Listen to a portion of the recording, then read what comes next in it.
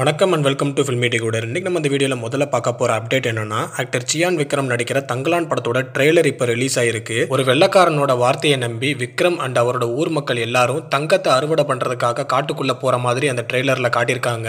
அந்த காட்டுக்குள்ளே அவங்களுக்கு நிறைய ஆபத்துகள் இருக்குது அங்கே நிறைய பேர் இறந்தும் போகிற மாதிரி அந்த ட்ரெய்லரில் காட்டியிருக்காங்க. விஎஃப்எக்ஸ் எல்லாம் பக்காவாக பண்ணியிருக்காங்க. அவங்க பேசுகிற தோரணையே வித்தியாசமாக இருக்குது அவங்களோட கெட்டப்பாக இருக்கட்டும் அவங்களோட லாங்குவேஜாக இருக்கட்டும் எல்லாமே வித்தியாசமாக இருக்குது ஓவராலாக பார்க்கும்போது ட்ரெய்லர் எதிர்பார்த்ததை விட ரொம்பவுமே நல்லா வந்திருக்கு.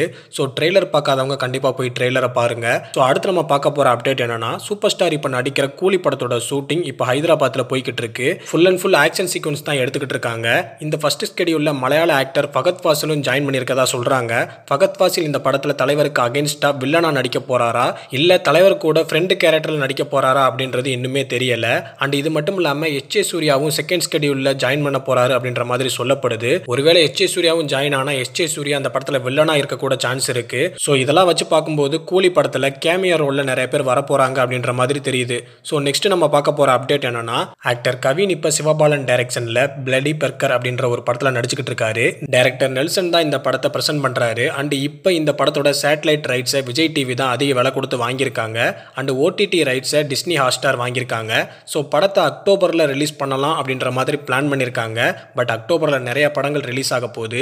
ஸோ இந்த படத்தோட ட்ரெய்லர் வந்ததுக்கப்புறமா இந்த படத்தை பற்றி நம்ம டீட்டெயில்டாக பேசலாம். ஸோ நெக்ஸ்ட் நம்ம பார்க்க போகிற அப்டேட் என்னன்னா விடுதலை பார்ட் டூவோட ஃபர்ஸ்ட் லுக் போஸ்டர் நெக்ஸ்ட் வீக்கில் ரிலீஸ் பண்ணிடுவாங்க அப்படின்ற மாதிரி சொல்லப்படுது.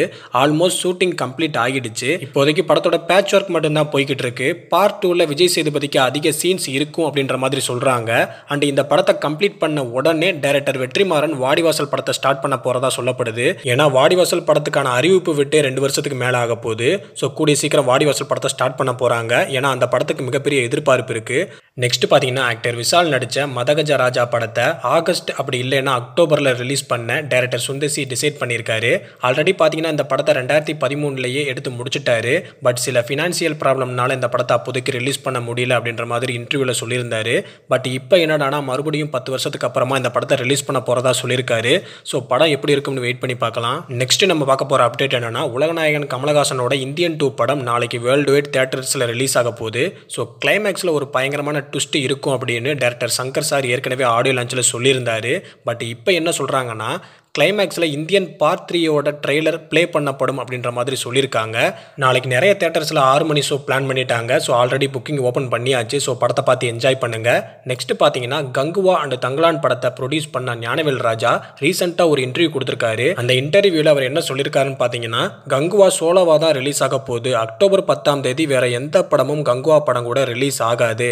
அண்ட் வேட்டையன் படம் தீபாவளிக்கு தான் ரிலீஸ் பண்ண பிளான் பண்ணியிருக்காங்க. ஸோ வேட்டையன் அண்ட் கங்குவா படத்தோட கிளாஸ் நடக்க வாய்ப்பு வாய்ப்பே இல்லை அப்படின்ற மாதிரி சொல்லியிருக்காரு ஸோ கடந்த சில வாரங்களாகவே பார்த்தீங்கன்னா கங்குவா படமும் வேட்டையன் படமும் கிளாஸ் ஆக போகுது அப்படின்ற மாதிரி நிறைய ரூமர்ஸ் சோசியல் மீடியாவில் பரவிக்கிட்டு இருந்துச்சு. நானும் என்னோட லேட்டஸ்ட் வீடியோவில் கூட சொல்லியிருந்தேன். பட் இப்போ ஞானவேல் ராஜா அதுக்கு ஒரு முற்றுப்புள்ளி வச்சுட்டாரு. ஸோ கங்குவா சோலோவா தான் ரிலீஸ் ஆக போகுது. ஸோ நெக்ஸ்ட் பார்த்தீங்கன்னா போர்த்தொழில் படத்தை எடுத்த விக்னேஷ் ராஜா டைரக்ஷனில் ஆக்டர் தனுஷ் ஒரு படம் நடிக்க போகிறாரு அந்த படத்தை வேல்ஸ் ப்ரொடக்ஷன் தான் ப்ரொடியூஸ் பண்ண போகிறாங்க படத்தோட செட் ஒர்க்கை ஆல்ரெடி ஸ்டார்ட் பண்ணிட்டாங்க. ஸோ படத்தை கூடிய சீக்கிரத்தில் ஸ்டார்ட் பண்ண போகிறாங்க இந்த படத்தில் தனுஷோட சேல்ரி நாற்பத்தைந்து கோடி அப்படின்ற மாதிரி சொல்லப்படுது. ஸோ ராயன் படத்தை முடிச்சிட்டாரு ஆல்ரெடி அண்ட் குபேரா படமும் இன்னும் கொஞ்ச நாளில் கம்ப்ளீட் ஆகிரும் ஸோ அந்த படத்தெல்லாம் முடிச்சுட்டு அவர் இந்த படத்தில் நடிக்க போகிறாரு ஸோ இந்த படத்தை முடிச்சதுக்கு அப்புறமா தான் இளையராஜாவோட பயோபிக்கில் தனுஷ் நடிக்க போகிறாரு ஸோ தொடர்ந்து பார்த்தீங்கன்னா ஆக்டர் தனுஷுக்கு நிறைய படங்கள் வெயிட்டிங் லிஸ்ட்டில் இருக்குது எல்லா படங்களும் நல்லா தான் இருக்கும் அப்படின்ற மாதிரி தோணுது. ஸோ தனுஷோட இந்த படங்களில் நீங்கள் எந்த படத்துக்கு வெயிட் பண்ணுறீங்க அப்படின்றத கமெண்ட் பாக்ஸில் வந்து கமெண்ட் பண்ணுங்கள் அடுத்த ஒரு வீடியோவில் சந்திப்போம். அது வரைக்கும் நம்ம சேனலுக்கு சப்போர்ட் பண்ணுங்கள் மறக்காமல் சப்ஸ்கிரைப் பண்ணிடுங்க பெல்லைக்கான கிளிக் பண்ணி வச்சுக்கோங்க.